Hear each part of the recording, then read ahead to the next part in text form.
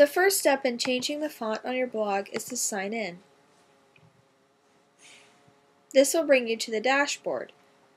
Click on Design.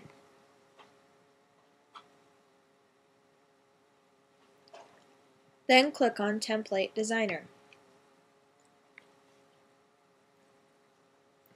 Once the page is finished loading, click on the Advanced tab. Scroll all the way to the bottom until you come to Text Font.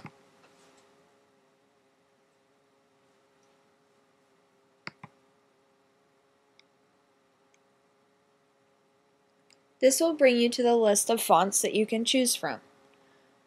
My mom is using the font Coming Soon. If you scroll down in the preview, you can see what the different fonts will look like on your blog.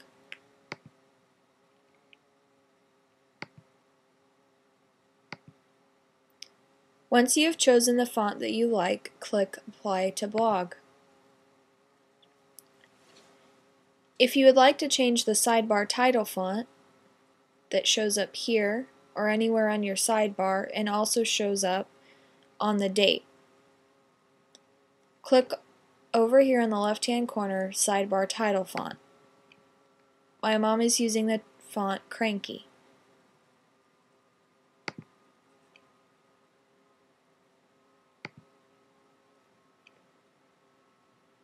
Then, once you have found the one that you want, again click Apply to Blog.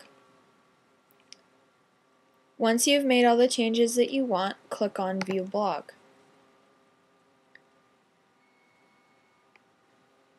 Now you are done.